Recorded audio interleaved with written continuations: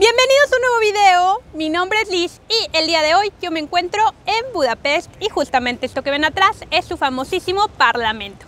Sin embargo, el día de hoy no les voy a contar de esta ciudad ya que es domingo viajero, por lo tanto toca hablar de temas más personales y se me ocurrió contarles sobre mi primer viaje sola. Ese que definió muchísimo de lo que soy hoy en día, de las decisiones que he tomado, incluso pues de lo que es mi trabajo.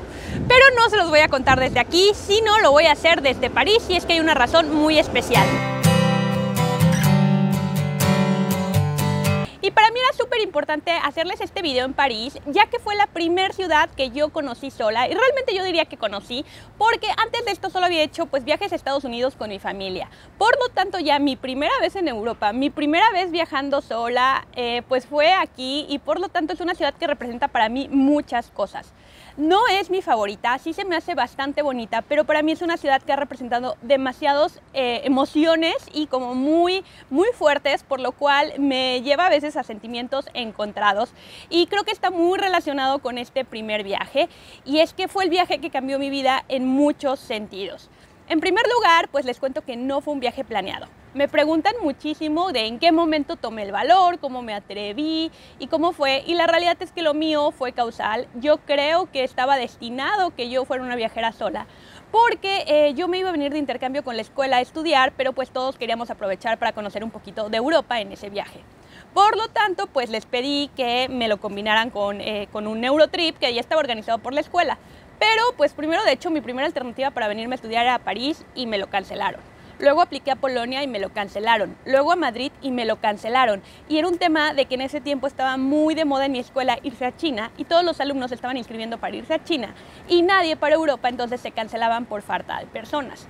Cosa que fue muy triste para mí porque yo quería conocer Europa, yo no había venido. Así que yo decía, no, yo quiero ir a Europa. Pero tanto me cancelaron que empecé a pensar que quizá el destino no quería que yo viniera a Europa, que quizá no era mi momento. Pero eh, bueno, ya cuando estaba como pensando eso, literalmente me llegó un correo electrónico de otro campus de mi universidad diciendo, no somos tu escuela, eh, somos tu escuela, pero no somos tu campus. Sabemos que estás buscando un intercambio a Europa y nosotros tenemos uno. No es de tu área, yo estudié periodismo y era de contabilidad. Me dicen, pero puedes meterlo como materias los tópicos, que tú puedes seleccionar cuáles y sin problema puedes incluirte. A mí me daba exactamente igual lo que se estudiara, yo dije, sí me voy. Y la única diferencia de este eh, viaje era que el intercambio era en Barcelona y que ya no me iba a incluir el Eurotrip que se incluía los otros viajes. Por lo tanto, la única alternativa que me quedaba era o hacerlo sola o hacerlo sola, porque si no me iba a quedar sin conocer París, Roma y otras ciudades que incluí en ese primer viaje. Así que como ven, evidentemente yo no lo planeé, fue un tema de que así se dieron las cosas y la verdad soy más que afortunada que así se hayan dado, porque en ese primer viaje descubrí muchas cosas. Por un lado, cuando me preguntan si me dio miedo o lo que sea, para mí eran tantas mis ganas de conocer Europa que lo de menos era el miedo. Yo no pensé en que podía ser inseguro, en que me iba a pasar algo, en que iba sola, en todos esos temas. De entrada soy una persona que me gusta mucho la soledad. Me gusta mucho estar conmigo misma, mi tiempo sola, el silencio. Eh, la verdad son cosas que disfruto en mi día a día y que siempre disfruté en México. Por lo tanto, en ese tema yo no le veía mucho problema hacerlo en otro país. Yo sé que para algunos esto representa todo otro tema, pero creo que hay que aprender a estar con uno mismo. Algunos tenemos la ventaja de que ya somos así y nos gusta de inicio pero también creo que se puede aprender a desarrollar eso porque al final somos la única persona que tenemos en la vida. No podemos depender de nadie, incluso nuestros seres queridos, las personas más confiables, puede ser que en algún momento no puedan estar con nosotros. Así que de verdad que aprender a estar contento con uno mismo y tranquilo creo que es muy importante. El tema de la inseguridad, yo venía de Ciudad de México, así que suponía que ya estaba en los estándares de inseguridad altos, por lo tanto no podía ser mucho más peligroso.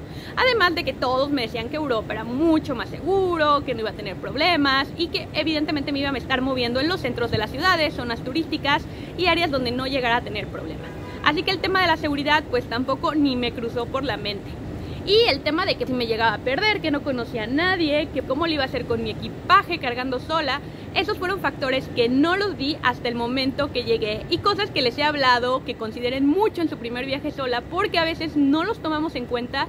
Y, oh sorpresa, llegas a un país, a una nueva ciudad con un montón de equipaje y no habías considerado que igual eh, viajando sola tienes que pagar un taxi tú solo y que puede ser súper caro y que es mucho más práctico viajar de una forma que tú puedas cargar ese equipaje, que no siempre vas a encontrar escaleras eléctricas o elevadores, que sí tienes que ser súper responsable de todo lo que vas a traer y que eh, todo el tiempo lo vas a tener que tener contigo. Así que ese tipo de cosas creo que eh, las fui aprendiendo en el camino, no las tenía tan claras y bueno, Suenan tontas, la verdad, pero hay cosas que no visualizas hasta el momento en que te encuentras en un viaje sola. Y bueno, evidentemente fue el viaje de mi vida que me cambió en todos sentidos. Y es que hay una frase que igual suena muy cliché y esas típicas que se comparten en redes sociales, pero creo que es muy cierta, que dice, querido yo no te conocía tan bien hasta que viajé contigo. Y estoy completamente eh, segura de esto. Y es que la verdad, un viaje todos sabemos que intensifica en muchos eh, momentos pues las cosas. De pronto un pequeño problema lo puedes ver más grande, el cansancio se empieza a acumular, son muchas emociones, cosas nuevas por descubrir, pero también por aprender. Tienes que estar mucho más atento que en el día a día de tus pertenencias. Entonces todo se vuelve más intenso y de hecho creo que esa es la razón por la cual dicen que cuando quieras probar eh, si estás con la pareja correcta tienes que viajar con esta porque es una forma nueva de conocerla.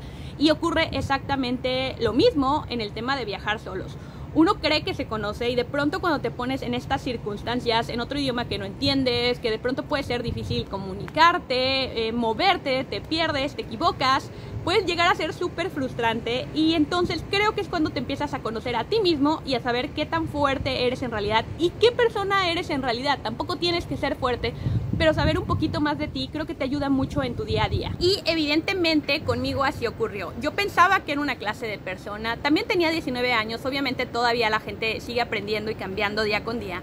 Pero eh, en esa época pues yo tenía muy claro, según yo, que me gustaba, que no, mi capacidad incluso física. Y ese viaje rompió todos los paradigmas y todo lo que yo creía que sabía de mí. Y es que en primer lugar yo era una persona que me acostumbraba a quejar muchísimo de todo. Cuando empecé a viajar sola, fue sorpresa que de pronto pues tiras algo y velo y cómpralo tú y puedes hacer un berrinche otra vez, pero no va a pasar nada porque nadie te va a hacer caso. Lo mismo va a ocurrir con muchísimas cosas. De pronto cuando estamos viajando en grupo y alguien es el que guía y se equivocó por el camino, todos los demás se quejan o eh, compró mal los boletos, eh, dices, no, pero es que yo había pensado que era mejor el otro y te lo dije, pero igual no lo dijiste tan claro. Entonces hay cosas en las que de pronto puedes estarle echando la culpa a los demás y al viajar solo no hay a nadie.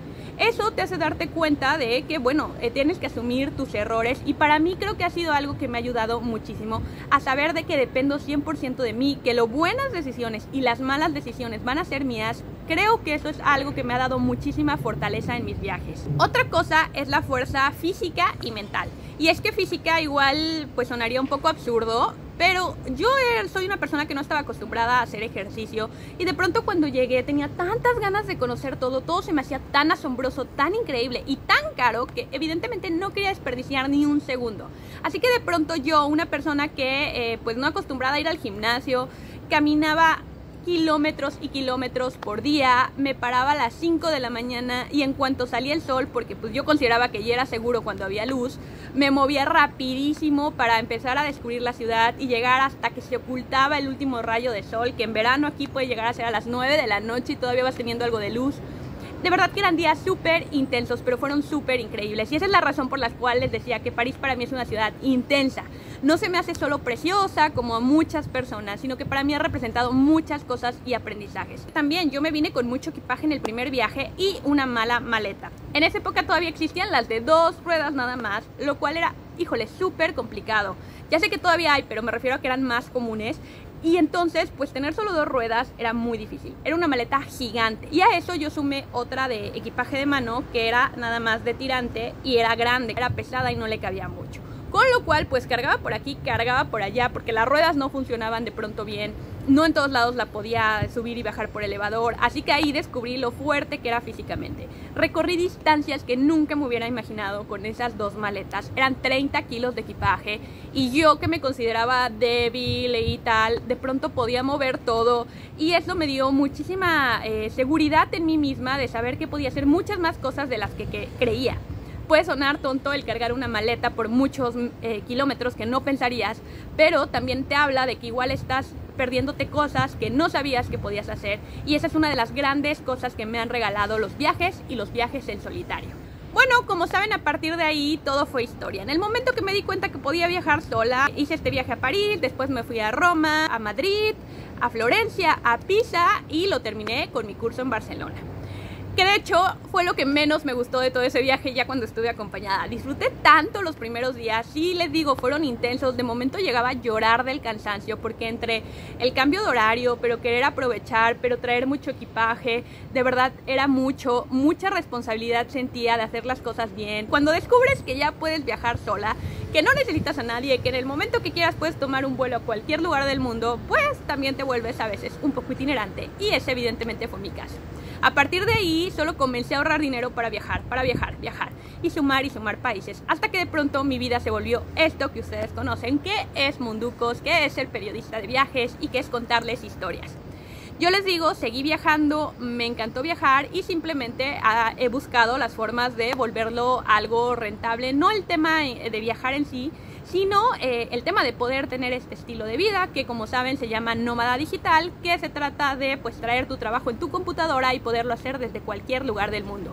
Ya está comenzando a llover, así que creo que es momento que el destino me dice que finalice este video, además que tengo poco tiempo para irme hacia el aeropuerto. Pero como les decía, les quería contar de esta primera experiencia, de cómo fue, ya tengo muchos consejos y todo, pero saben que son videos personales estos. Y para los que me han preguntado, pues, ¿qué me motivó a viajar? Pues ya lo vieron. Eh, simplemente la oportunidad. Creo que cuando tienes la oportunidad y el deseo, no lo dejes ir nunca te vas a arrepentir. Cuando las condiciones están, no es fácil. Eh, muchas veces para viajar he sacrificado muchas cosas. He estado lejos de personas que me interesan en momentos y muy importantes. Viajar no siempre es fácil, viajar no solo es bonitas fotos, implica muchas cosas que de pronto pues no se ven, porque además son cosas que a veces sentimos los que estamos de viaje, ni siquiera es que se puedan eh, poner en palabras.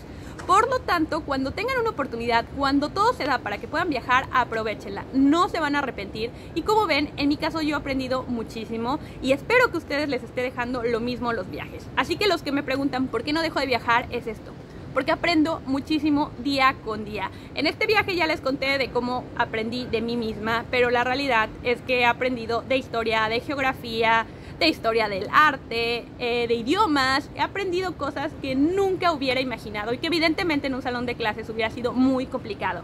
Así que la verdad es que es una gran experiencia. Y en siguientes videos les puedo ir contestando otras eh, dudas eh, que me han estado llegando sobre mis viajes más personales. Así que simplemente díganme qué tema quieren que trate. Para eso se trata este domingo viajero donde simplemente les doy mi opinión de algunos temas.